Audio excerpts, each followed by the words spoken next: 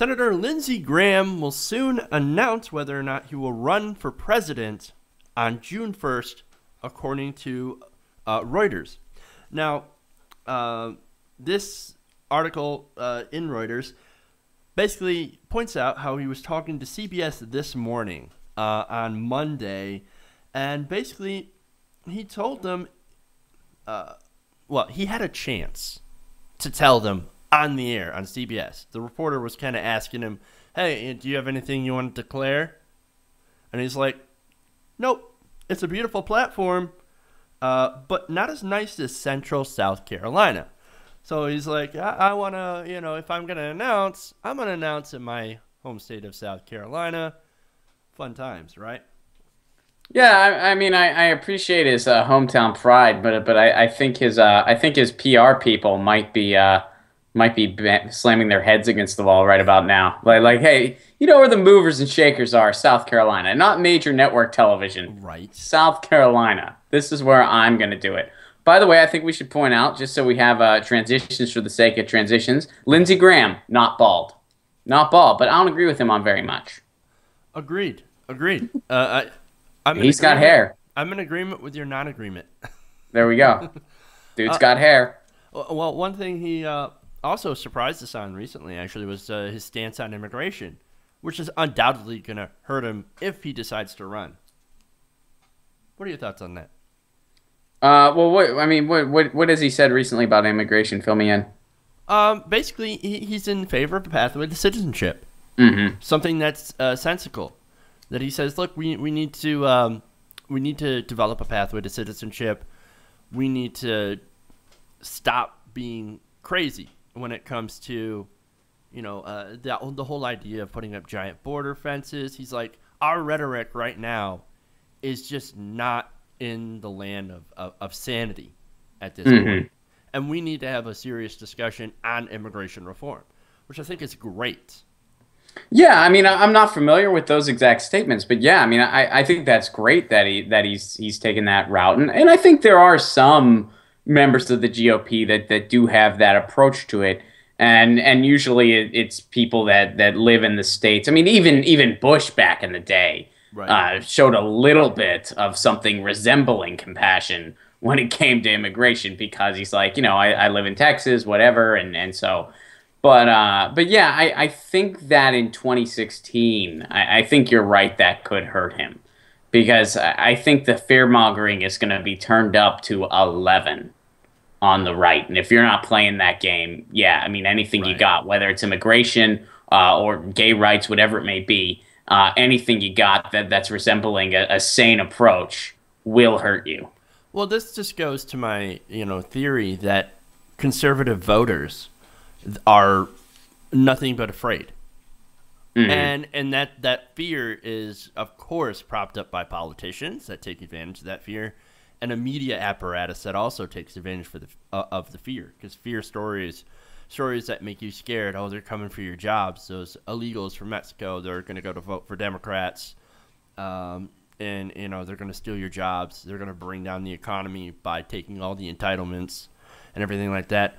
That fear based messaging, that's what the GOP really uh, capitalizes on.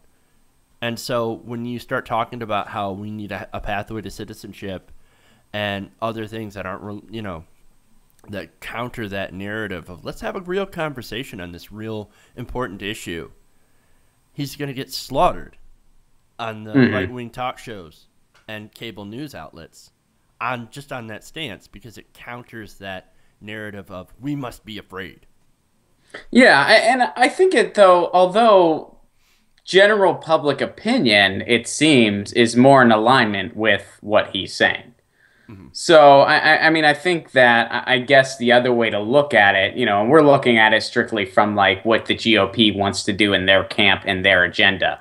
Uh, the bigger picture, though, if you want to win a, a, general election, you have to have some type of, uh, I, I, guess, bipartisan, for lack of a, a, better way to put it, even though that it's a little deeper than that. But you have to have some uh, some ability to kind of reach across those aisles, and and I think the past two elections have proven that because you know the whole just complete fear mongering platform it didn't work for McCain and it didn't work for Romney and whoever's coming up in 2016, if that's all they got, it's not going to work for them. So, I mean, in a way, he could kind of use that to his advantage, depending on depending on how the the election unfolds, depending on how the political communication is unfolded. Um, you know, I mean, it all comes down to kind of what PR team you got behind you. And if he is electing to give his big statements in the middle of South Carolina versus a major TV news network, uh, I'm led to believe that he might need a little bit of help in that department. But but I guess we'll see. It's still early. Yeah, that's a pretty fair assessment. But um, before you think Lindsey Graham is going to be too reasonable for the GOP primary, I didn't say that. Oh, I'm just saying for anybody at home who thinks he might be a little too reasonable, um, let's take a look at how he views uh, the topic of national security, especially when it comes to the Middle East. Now, he's of course famous for buddy buddying with uh, John McCain, one of the biggest hawks uh, Warhawks in the Senate. Great and, guy to align yourself with if you're thinking about running for president. That guy really tore it up when he was when he was absolutely boy. He he just did a great job, didn't he? It was just an uh, excellent job picking his VP candidate. I mean, he he did everything right. Marvelous. It was just it, was just bad timing. That was all it was, Jeff. No, no, Nothing no, else. No, It was it was the black guy that that made everybody vote for him because he's black. Like the black community just voted for him for him black. And if you're white, well, you voted for Obama because you had white guilt. That must have been it. Yes, yes, because brilliant, brilliant job by John McCain. Absolutely. Absolutely, very in touch with with the general populace. He was just, yeah. I, I mean, I like how towards the end he just straight up gave up. He's like, "All right, you guys." You guys want your president that knows how to use a computer. I get it. Like, but anyway, that's good that these are the type of friends that Graham's keeping. Between that and him giving all of his important messages in the middle of South Carolina, he's off to a great start. Mm-hmm. Now, it gets better. His policy prescription, if he's president, to deal with uh, ISIL or the Daesh or ISIS or the Islamic State, whatever you want to call them at this point, scary terrorist guys, that works too. Well, his policy prescription for dealing with those people is that you would is that he would send 10,000 troops that are needed to reclaim parts of Iraq. He would send troops, ground troops.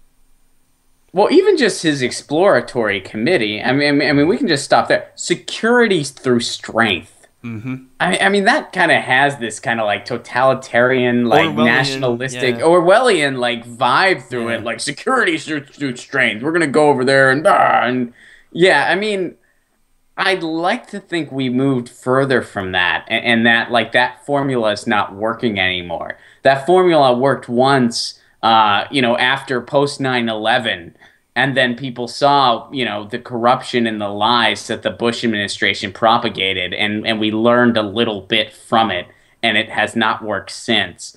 Uh, so yeah, I, I don't know how far he's going to get with that. I mean, even you know, in regards to ISIS and stuff like that. I, I mean, yeah, it's a thing, it's real. But as far as like the true paranoid propaganda that you know different fringe sects of the rights have tried to push forward, uh, it, it, hasn't worked. It's been pretty ineffective. Uh, the only person I know that it's worked on was Scott Stapp, who swore that ISIS was coming to his kid's school. Outside of that, I don't know anyone it's worked on, and Creed hasn't been relevant for years and years. So I, I think we're okay.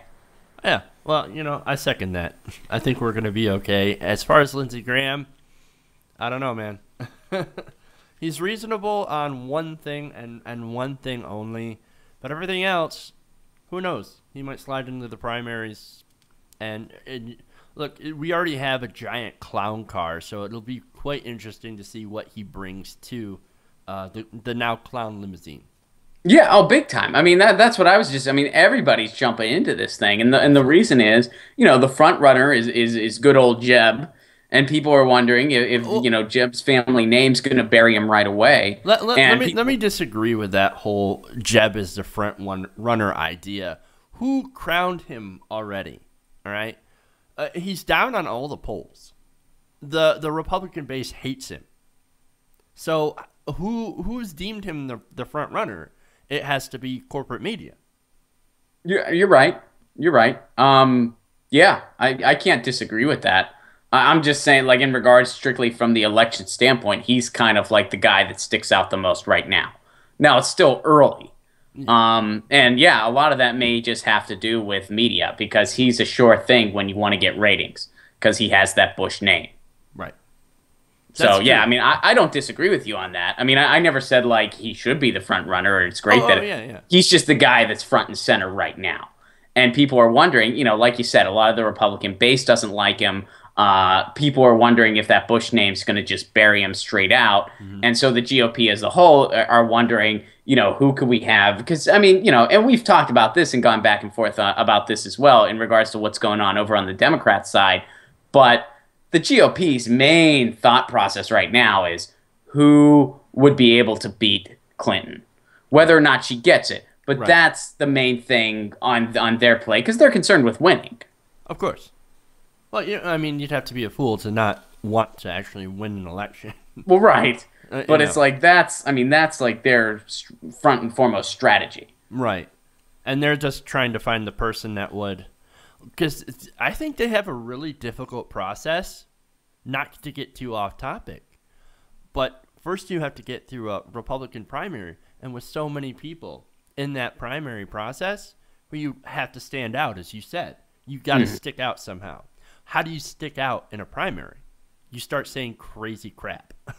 Right. Well, and especially, I mean, you know, let's be real here. In, in a GOP primary, a lot of the ideas circulating through that party right now are recycled ideas, Yeah. uh, ideas that have uh, become not as valid, if they ever were valid in the first place, in the general populace, that most of the American people are tired and cynical towards, and reasonably so. Yet you have these special interest groups keep that that's giving CPR to these tired, homophobic, xenophobic ideas. And that's what the right's working with. And, and, you know, like you have some other more libertarian type guys that are, you know, kind of peeking their head in here and there, but they're not getting very far for whatever reason. Right.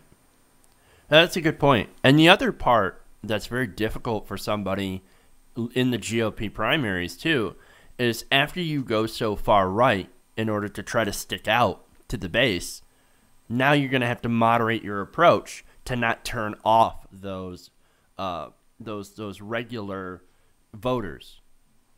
There, there's a, there's a word that I can't think of to call them, but you know the general election voters you got to avoid turning those people off. And just as you had pointed out, a lot of people in the general are are not interested in, in a lot of these old uh, recycled ideas. I mean, if you even look at a lot of the polling and a lot of the support in conservative states for things like raising the minimum wage, their old idea that they're going through the primary is get rid of it. Well, Mhm. most Americans back a minimum wage. Most Americans back Social Security and Medicare, and even keeping so a lot large portions of the healthcare law. Yeah, well, I mean, a lot of Americans favor straight up universal healthcare. Um, you know, they may have different ideas on how to get there, but but a lot of Americans just generally favor that idea. Yeah, absolutely. And the GOP does not at all uh, reflect that in their policy prescriptions. I mean, Jeb Bush with his Apple Watch, and that's ridiculous.